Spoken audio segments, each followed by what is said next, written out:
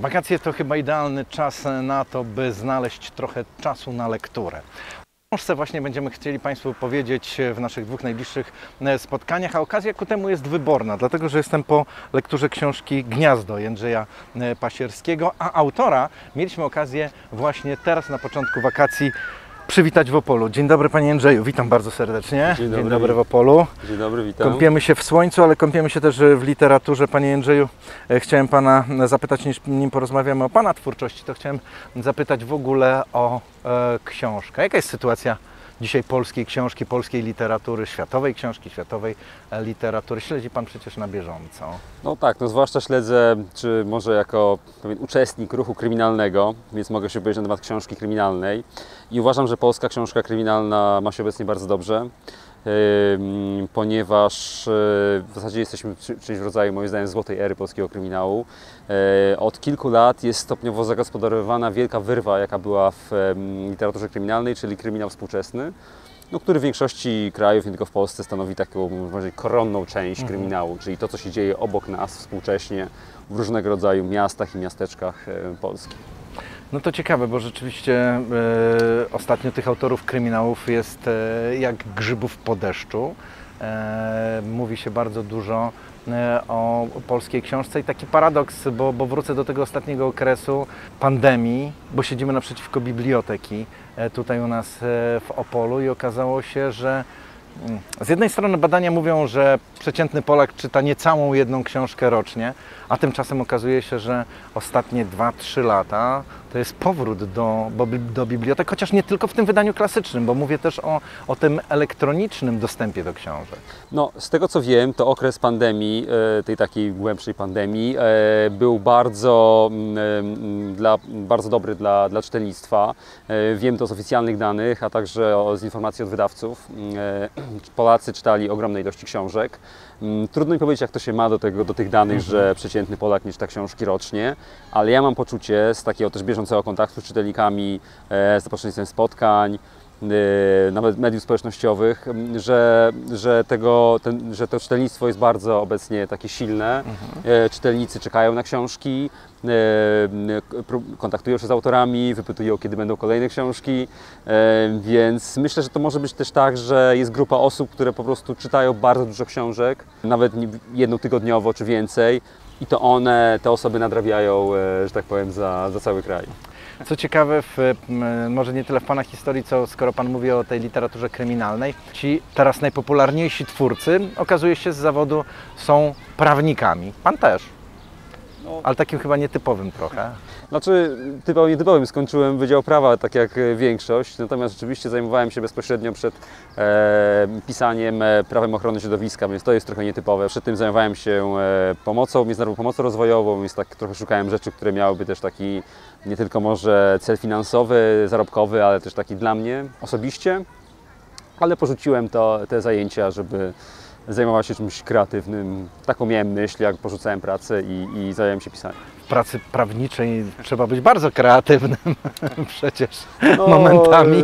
No, raczej no, mo- no, na jakimś tam poziomie pewnie tak, natomiast raczej jest to praca analityczna, wiadomo, e, w pewnym sensie powielalna, e, także nie ma tego elementu indywidualizmu, który gdzieś tam też mi odpowiada w pisaniu, że ta jednak ta książka zawsze gdzieś tam będzie po prostu moja, z moimi indywidualnymi cechami i, i taka jakaś, e, no też to będzie taki właśnie, że będę mógł wyrazić jakąś swoją po prostu kreatywność w tej książce. E, W drugim naszym spotkaniu porozmawiamy bezpośrednio o twórczości e, Pana, czyli o samej serii książek e, z bohaterką, którą jest Nina Warwiłow.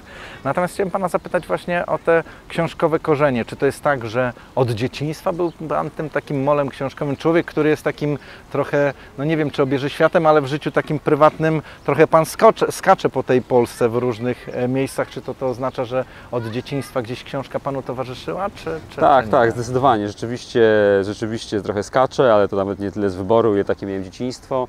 Trochę między Warszawą a górami Beskidu Niskiego, a teraz mieszkam we Wrocławiu.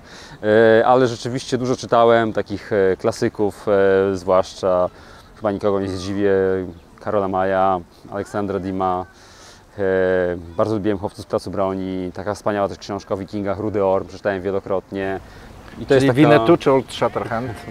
E, No, bardziej podążałem za Old Shatterhandem, bo on był taki trochę bardziej głównym bohaterem. Winę tu trochę obserwowaliśmy, on był takim trochę obiektem e, w tej serii.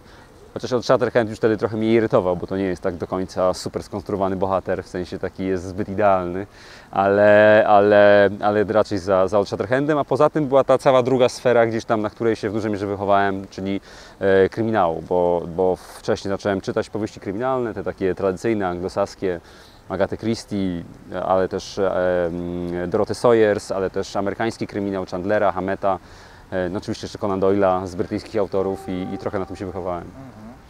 E, To się przełoży na Pańskie książki. Ja nie chciałbym tego, e, tego zdradzać, ale pewnie, pewnie tak, bo czytając czy, czy pierwszą część serii Dom bez klamek, czytając Gniazdo, rzeczywiście e, dla mnie pobrzmiewał ten duch A- Agaty Christie. Zastanawiałem się, czemu, e, czy ta pana bohaterka to jest taki Poirot w spódnicy, czy też, e, czy też nie. Natomiast e, wracając e, już do e, takich tematów, e, gdzie jest ten moment, e, kiedy wie Pan, że to jest inspiracja? Pisał Pan e, do szuflady e, wcześniej, próbował Pan, kiedy to zaskoczyło? Bo tak jak Pan mówi, zmienił Pan zawód, no to jest dosyć taka duża życiowa, życiowa decyzja. I jak to było z, pi- z pisaniem? E, Nie załamał się Pan w którymś momencie, powiedział, nie, jednak nie to, wracam do tego mojego zawodu wy, wyuczonego?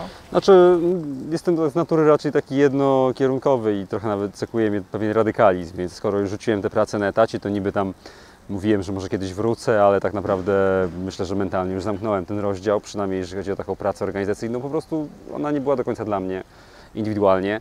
I e, ja nigdy przy tym nie pisałem. Po prostu zacząłem pisać w momencie, kiedy, kiedy już nie byłem na etacie i po prostu napisałem jedną książkę o szuflady. Nie podobała mi się. Napisałem kolejną, nie podobała mi się, przerwałem w trakcie. Dalej myślałem, co pisać.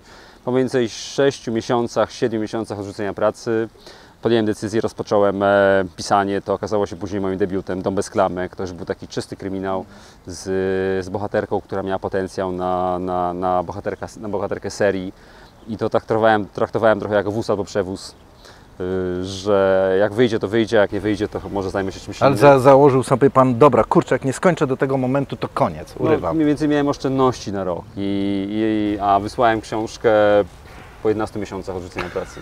To nie dużo miał Pan rezerwy. No niedużo, niedużo, niedużo, no i co? I tak po prostu przesuwałem te granice. To nie jest tak, że ja kiedyś że postanowiłem, że będę autorem i, i tym się tylko będę teraz zajmował, tylko tak sobie przesuwałem. Wydałem kolejną książkę i kolejną książkę i, i jakoś, tak, e, jakoś tak minęło 6 lat. I tak mija. I tak Mija na pewno o Pana e, książkach będziemy mówić w naszym kolejnym e, spotkaniu, ale na koniec chciałem Pana zapytać o jedno, bo jesteśmy na wakacjach. To, no, no może top 10 to aż nie, ale może chociaż top 3 takich książek, które zabrałby Pan niezależnie od wszystkiego na wakacje. Ja co roku zabieram, nie zawsze czytam, ale zawsze zabieram ze sobą swojego ulubionego e, Szwejka e, i Haszka, bo to jest taka książka, którą czytam chyba od, miałem 15 lat, jak pierwszy raz czytałem i tak do, do dzisiaj to, to zostało. Są takie, nie wiem, chociażby trzy pozycje, które by Pan powiedział naszym widzom na wakacje. Może spróbujcie tego. Hmm, no to może coś takiego, co zawsze mnie bawi, czyli 17-latek Buffa Tarkingtona. E, taki trochę zapomniany pisarz, to jest krótka powieść i niez, niezwykle zabawna. Może jak ktoś ma dzieci, to uważam, że należy przypomnieć wspaniałą powieść o wikingach e, Rudy Orm. E, a trzecie to jest moja wielka pasja, czyli takie powieści epickie współczesne, których trochę mi brakuje i tu może mm, wskazałbym e, Middlesex Jeffrey'a Eugenidesa jako taką klasyczną, wspaniałą powieść epicką współczesną. To pomyślcie Państwo, czy to nie jest e, dobra propozycja książkowa na wakacje i czy e, którejś z tych książek e, nie zabrać, a my na pewno zabierzemy Państwa w świat książek e, Jędrzeja Pasierskiego już w naszym kolejnym filmowym spotkaniu. Właśnie dowiemy się, gdzie była ta inspiracja, że Nina Warwiłow wraz z autorem doczekała się wielu znakomitych nagród, no i wielu fantastycznych recenzji. No i oczywiście co dalej z twórczością Jędrzeja Pasierskiego. Panie Jędrzeju, serdecznie dziękuję za to spotkanie, a Dziękuję. Państwa zapraszamy na następne.